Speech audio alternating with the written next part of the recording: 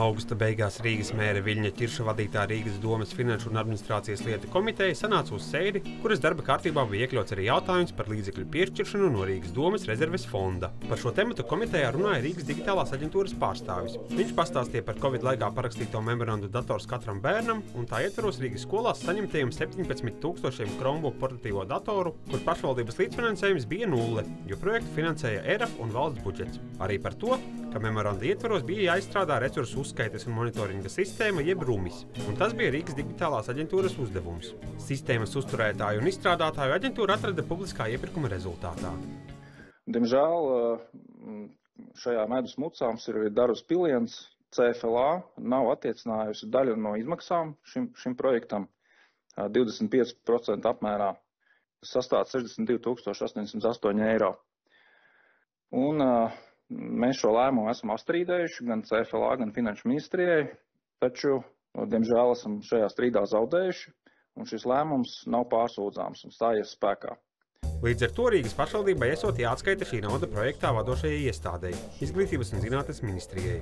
Klātesošo deputātu interesi šis temats acīm redzami neizraisīja, un arī sēdes vadītājs plašāku skaidrojumu no savas puses nesniedza. Es par ziņām, kolēģi, ir jautājumi. Jautājumus neredzu. Debatēs arī neviens nav pieteicies, tad balsosim. Paldies par ziņojumu! Pār nobalsoja deviņi komitejas deputāti.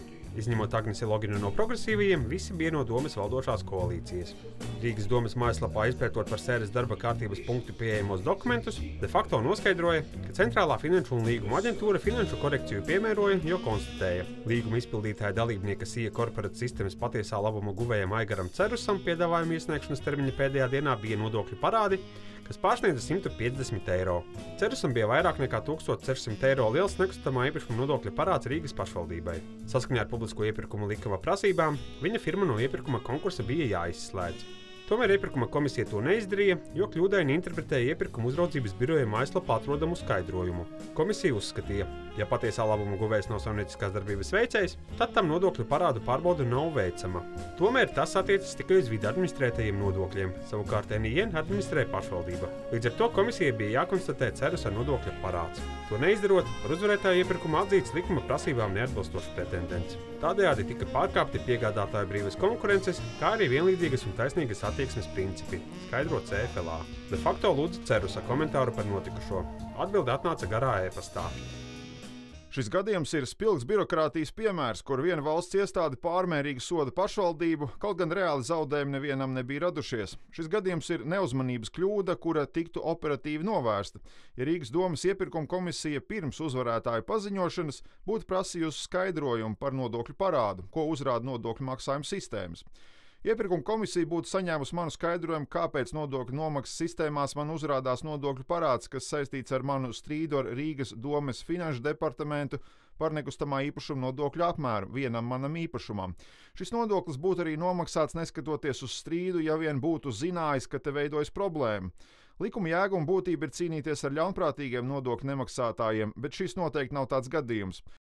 Līgumu ar piegādātāju apvienību, kurā ietilpa korporatīvas sistēmas un CIA datorzinību centrs, Rīgas digitālās aģentūras direktors Arnis Gulbis noslēdza pagājušā gada augustā. Tas notika pēc jūlijā pieņemtā iepirkuma komisijas lēmuma. Komisijas vadībā nebija aģentūras pārstāvji, jo lielos iepirkumus Rīgas domē rīko centrālās administrācijas iepirkumu pārvalde. Šo konkrēto komisiju vadīja pārvaldes vadītāja vietniece, publisko iepirkumu nodaļas vadītāja Vita Meimere. Gulbis sarunā ar de facto demonstrē izstrādāto rumis sistēmu, kurai autorizēto lietotāju pieeja ir skolām. Viss strādājot labi, bet par iepirkuma procedūru neko daudz viņš nevarot pateikt. Aģentūra paļāvusies uz iepirkuma pārvaldes kompetenci. No šī projekta iepirkuma komisijas locekļi, kas bija no digitālās aģentūras puses, faktiski vērtēja tikai šo nu, tehnisko arhitektūras un sistēmas funkcionālo daļu. Uh, finanšu piedāvājumu, bet jā, šos juridiskos jautājumus atstājot iepirkuma pārvaldes ziņā. Bet, bet tad jūs bijāt pārsteigti, nu, kad atnāca, nu, laikam, es nezinu, kāds sanāk, laikam, izēmes bija tie, kas jūs pirms vērsās vai, vai CFLA pat aizno. Uh, ka ir šī korekcija. Ka... Jā, protams, tas mums bija pārsteigums jā, un tāds uh, pamatīgs šoks. Jā. De facto Rīgas domē lūdza interviju arī ar iepirkumu pārvaldes pārstāvjiem, piemēram, pašu komisijas vadītāju Meimeri. Tomēr no Rīgas domas centrālās administrācijas interviju sniedza vien pilsētas izpildirektors Jānis Lange. Ķirša birojā uz lūgumu pēc intervijas atbildēja, ka mēra komentāru nebūs, jo iepirkumi esot izpildvaras lieta, ko mērs nekādā veidā neorganizē. Ķirsis ir uzdevis izpildirektoram padziļināt izmeklēt, kā šī situācija radusies un lemt par tālāko. Kā noskaidroja de facto, Mutvārdu rīkojumu Langiem Čirsis deva nevis uzreiz pēc IZM vēstules saņemšanas jūlijā vai domas komitejas sēdes augustā, bet šo pirmdienu, dienā, kad de facto sāka uzdot Rīgas domē jautājumus par iepirkumu. Rīkojuma izdošanas laiks nesot svarīgs. Būtisks būšot pārbaudē sasniegtais rezultāts, skaidro mēra padomniece Elīna Bīviņa. Langas sarunā de facto paziņoja, par 2023. gada vasaras notikumiem ir uzsākta dienesta pārbaude. Vēlāk gan atklājās, ka oficiāla dienesta pārbaudes komisija tika izveidota tikai nākamajā dienā pēc intervijas. Vai pārbaudē varētu noskaidrot, vai no kāda būtu piedzinumi vairāk nekā 70 tūkstoši eiro, Lange nevarot atbildēt. Es saprotu jūsu vēlmu, varbūt tās jau uzreiz paziņot, kurš ir vainīgs un no kā ir jāpiedzen šie naudas līdzekļi. Bet nu, mēs ejam sistēmiski šajā gadījumā, kā jau teicu, dienas pārbaudu, attiecīgi izvērtējumu un tad attiecīgi arī pieņemsim tālākos lēmumus. De facto augustā ziņoja, ka par valsts amatpersonu bezdarbību tiek tiesāti vairāki nodrošinājumi valsts aģentūras iepirkumu komisijas locekļi. Prokuratūras ieskatā iepirkuma dokumentācijā par valsts austrumu robežas joslas ierīkošanu netika iekļauta informācija par rīcību ar apauguma koksni, un tādēļ valstī tika nodarīti gandrīz 30 tūkstošu eiro zaudējumi. Tas ir divreiz mazāk nekā šobrīd Rīgas domē. Uz jautājumu, vai pēc analoģijas paralēli savai pārbaudē pašvaldībai jau tagad nebūtu jāvēršas tiesības sargājušajās iestādēs, Langi atbild noreidoši. Es neredzu šādu likuma sakarību šobrīd ar analoģiju. Nē, noteikti nē.